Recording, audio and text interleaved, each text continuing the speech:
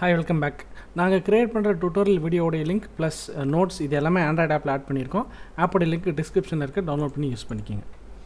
Software project management so ஒரு software development ப்ராசஸ்னு ஆரம்பிக்கும் போது ரெக்குயர்மெண்ட் கேதரிங்லேருந்து அதுக்கப்புறம் அதை டாக்குமெண்ட் க்ரியேட் பண்ணுறதுலேருந்து அப்புறம் இந்த என்டையர் ரெக்குயர்மெண்ட்டுக்கு எவ்வளோ டைம் தேவைப்படும் uh, அது அது என்னென்ன ஸ்டேஜஸாக செய்யலாம் எத்தனை ரிலீஸாக கொடுக்கலாம் அது எத்தனை ஐட்ரேஷனாக அதை கம்ப்ளீட் பண்ணலாம். அதுக்கப்புறம் முடிக்கும்போது டெலிவரபிள்ஸ் என்னென்ன கொடுக்கணும் அப்புறம் முடிச்சதுக்கப்புறம் after deliverable after deployment support என்ன கொடுக்கணும் இது எல்லாத்தையும் ப்ராப்பராக மேனேஜ் பண்ணி அந்த சாஃப்ட்வேரை கம்ப்ளீட் பண்ணி முடிக்கிறது தான் சாஃப்ட்வேர் ப்ராஜெக்ட் மேனேஜ்மெண்ட் ஸோ இது எதை எதை என்ஷூர் பண்ணுது அப்படின்னு பார்த்தீங்கன்னா project delivered on time budget is respected அதுக்கப்புறம் சாஃப்ட்வேர் மீட்ஸ் ரெக்யர்மெண்ட் ஸோ டைமுக்கு கரெக்டாக முடிக்கணும் ஃபஸ்ட்டு. பட்ஜெட் வந்து கிளைண்ட்டுக்கும் ஓகேவாக இருக்கணும். அதை செஞ்சு கொடுக்குற சாஃப்ட்வேர் கம்பெனிக்கும் ஓகேவாக இருக்கணும். அதே மாதிரி அந்த சாஃப்ட்வேர் வந்து அவங்க கேட்ட ரெக்குயர்மெண்ட்டை கண்டிப்பாக meet ஆகிருக்கணும் with standard quality application so இதோடைய அப்ஜெக்டிவ் என்ன? மெயின் அப்ஜெக்ட் என்னென்னு பார்த்தீங்கன்னா deliver the right product with right quality minimise risk during development so right ப்ராடக்ட்ங்கிறது ஒன்றும் இல்லை. ரெக்குயர்மெண்ட் அவங்களுக்கு என்ன தேவையோ அதை அவங்க வந்து கரெக்டாக சொல்லியிருக்கலாம் இல்லை சொல்ல தெரியாமல் மாற்றி சொல்லியிருக்கலாம். ஏன்னா கிளைண்ட் வந்து எல்லாருமே டெக்னிக்கலாக இருப்பாங்கன்னு நம்ம சொல்ல முடியாது. கிளைண்ட் வந்து நான் டெக்னிக்கல் கிளைண்ட்ஸ் நிறையா இருக்கலாம். ஸோ அவங்க வந்து சொல்ல தெரியாமல் சொல்லியிருக்கலாம். அதை நம்ம தான் வந்து அதை கரெக்டாக ஒரு பிஸ்னஸ் அனலிஸ்ட் வச்சு ப்ராப்பராக அதை இன்புட் வாங்கி கரெக்டான ப்ராடக்டை பில்ட் பண்ணி கொடுக்கணும். அடுத்தது ensure efficient use of resources so for example இப்போ ஒரு ப்ராஜெக்ட்டை பண்ண ஒரு பத்து பேர் தேவைப்படுது அப்படின்னா அந் அந்த பத்து பேருக்கு உண்டான ஒர்க் தான் இருக்குது அப்படின்னா பதினோரு பேரை அதுக்கு அலோகேட் பண்ணுறது பதினஞ்சு பேரை அதுக்கு அலோகேட் பண்ணுறது அப்படிங்கிறதுலாம் வந்து வேஸ்ட் ஆஃப் ரிசோர்ஸ் அந்த மாதிரி பண்ணக்கூடாது. அதே மாதிரி யூஸ் பண்ணுற சாஃப்ட்வேர் டூல்ஸோட லைசன்ஸ் இது எல்லாமே ப்ராப்பராக மேனேஜ் பண்ணணும். பெய்டு சாஃப்ட்வேர் ஏதாவது இருக்குது இந்த ப்ராஜெக்ட் முடிகிற வரைக்கும் அந்த பெய்டு சாஃப்ட்வேர் யூஸ் பண்ணணும் அப்படின்னா அது எத்தனை லைசன்ஸ் வாங்கணும்? இல்லை ஒரே ஒரு காமன் லைசன்ஸ் வாங்கி எல்லோரும் யூஸ் பண்ணலாமா?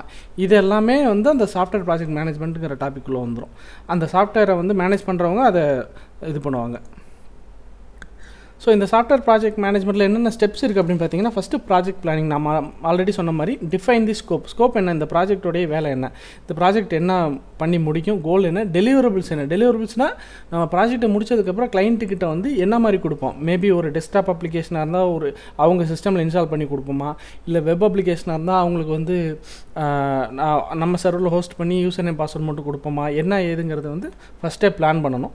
Estimated time cost and resource அதுக்கப்புறம் டெவலப்மெண்ட் மாடல் என்ன? அகேல் மாடலாக வாட்டர் ஃபால் மாடலாக மேக்ஸிமம் இப்போலாம் அகேல் மாடல் தான் ஃபாலோ பண்ணுறாங்க பட் ஸ்டில் அது என்னங்கிறத டிசைட் பண்ணுறது ப்ராஜெக்ட் பிளானிங் அடுத்து project monitoring and control so once plan பண்ணி முடிச்சாச்சு ஸ்டார்ட் ஆயிடுச்சு அப்போ ப்ராஜெக்ட் டெவலப்மெண்ட் ஸ்டார்ட் ஆனதுலேருந்து தென் அண்ட் தர் ப்ராக்ரஸ் என்னங்கிறத ட்ராக் பண்ணிக்கிட்டே இருக்கணும்.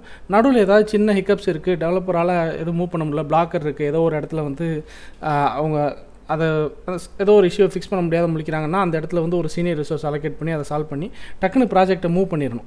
எந்த இடத்துலையும் பிளாக் ஆகி நிற்கக்கூடாது இதெல்லாம் வந்து project monitoring and control team management so assign task set of roles and responsibilities so team மெம்பர்ஸ்க்கு யார் யாருக்கு என்னென்ன ரோல் என்னென்ன மாடியூல் செய்யணும் என்னென்ன அவங்களோட ஸ்கோப் என்ன இது எல்லாமே வந்து ப்ராப்பராக இன்ஃபார்ம் பண்ணி அவங்கள கரெக்டாக கோஆர்டினேட் பண்ணி அந்த ப்ராஜெக்ட்டை முடிச்சு வாங்கணும்.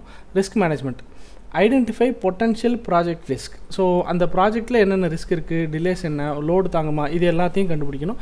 இதே மாதிரி அந்த ப்ராஜெக்ட்டில் ஏதாவது ஒரு டேட்டா தப்பாக போச்சுன்னா அது எந்த அளவுக்கு அஃபெக்ட் ஆகும் அப்படிங்கிறதையும் நம்ம ப்ராப்பராக அனலைஸ் பண்ணி மேனேஜ் பண்ணணும். Quality management define quality standards அடுத்தது conduct code reviews audits example etcetera அதாவது எழுதுகிற கோடு ஃபாலோ பண்ணுற அல்காரதம் மெக்கானிசம் இது எல்லாமே ப்ராப்பரான ஸ்டாண்டர்ட்ஸில் இருக்கா? ஆப்டிமைஸ்டாக இருக்கா? இது எல்லாமே வந்து ப்ராப்பராக ரிவ்யூ பண்ணி நல்ல குவாலிட்டியான கோடு வெளியே எடுத்துகிட்டு வரணும். Customer and stakeholder management gather feedback and ensure continuous align with customer needs once அந்த ப்ராஜெக்டை முடித்ததுக்கு பிறகு கஸ்டமரோட ரெகுலராக டச் வச்சுக்கிட்டு அந்த சாஃப்ட்வேர் கரெக்டாக ஓடுதா? அவங்களோட ஃபீட்பேக் எதாவது இருக்கா? ஏதோ ஒரு இடத்துல வந்து அவங்க யூஸ் பண்ணுறது கஷ்டமாக இருக்கா? ஏதாவது சேஞ்ச் பண்ணணுமா?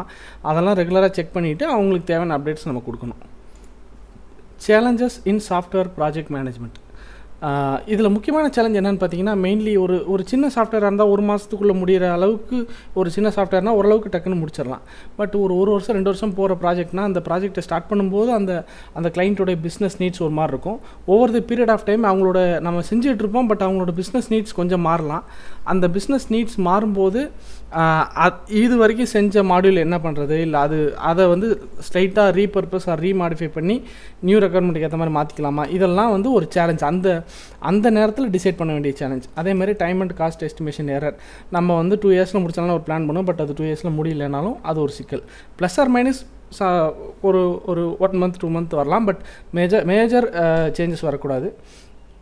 Team coordination technology consign and stakeholder conflicts இது எல்லாமே சேலஞ்சஸ் டூல்ஸ் என்னென்ன டூல்ஸ் யூஸ் பண்ணுறதுனா நிறைய டூல்ஸ் இருக்குது அதில் ஸ்பெசிஃபிக்காக கம்யூனிகேஷனுக்கு வந்து டீம்ஸ் இருக்குது ஸ்லாக் இருக்குது ஜூம் இருக்குது அதே மாதிரி ப்ராஜெக்ட் மேனேஜ்மெண்ட் டூல்ஸ் என்னென்னு பார்த்தீங்கன்னா ட்ரெல்லோ ஜீரா ஜீரா வந்து ஸ்பெசிஃபிக்காக சாஃப்ட்வேர் டெவலப்மெண்ட்டுக்குன்னு டிக்கெட்டிங் டூல்னு வச்சுக்கலாம். ஸோ ஸ்டோரிஸு டாஸ்க்கு இந்த மாதிரிலாம் வந்து பிரித்து ஒரு ப்ராஜெக்டை அதோடைய ப்ராக்ரஸை வந்து மா செக் பண்ணிக்குவாங்க.